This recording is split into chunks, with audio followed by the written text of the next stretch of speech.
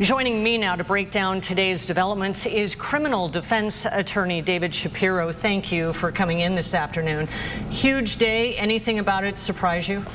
Absolutely. Absolutely. We had heard so much about George Gascon coming with this big announcement and whether the announcement was going to be he was going to recommend nothing and just let the system play out with this upcoming habeas petition or we heard so much about possibly a recommendation for voluntary manslaughter, in which case if the judge went along with that, the Menendez brothers would be released. What Gascon wound up doing today was basically saying, hey, we're just not recommending that this be a special circumstances murder, which makes the brothers parole eligible, but on a murder charge, which they stood by pretty strongly in the press conference we saw today. As we are pointing out, uh, this has to go to the judge. The judge actually makes the decision. Tell us the process, what he will take into account, and how long that may take, this whole process. Sure. Well, tomorrow, as we heard from the press conference today, the Los Angeles District Attorney's Office will file the appropriate paperwork. From there, a hearing will be set usually within about 30 days, so about a month or so, there will be that hearing.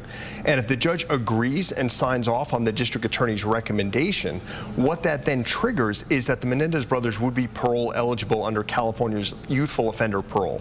Basically, they committed offenses when they were 18 and 21 at such a young age. They've served a significant amount of time in prison. They would then be parole eligible, which means they would still have to go before the parole board. Whenever that happens, then they're still several months away and there's a whole process. So this is not a 2024 type resolution. This is probably going to go deep into next year.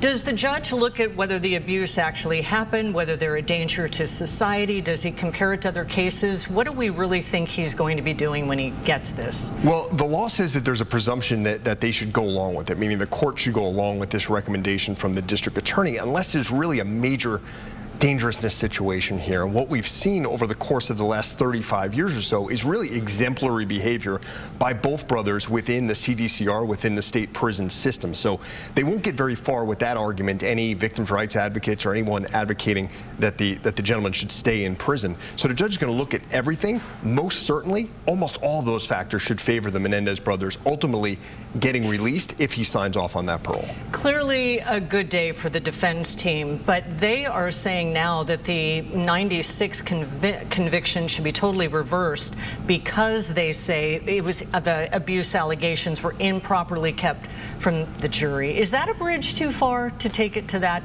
point? No, not at all, because remember, they have exhausted all their regular appeals, and what this habeas petition is alleging is particularly two main things. The first being this letter that Eric allegedly wrote to a family member before the murders, talking about this abuse at the hands of his father, how he couldn't take it anymore.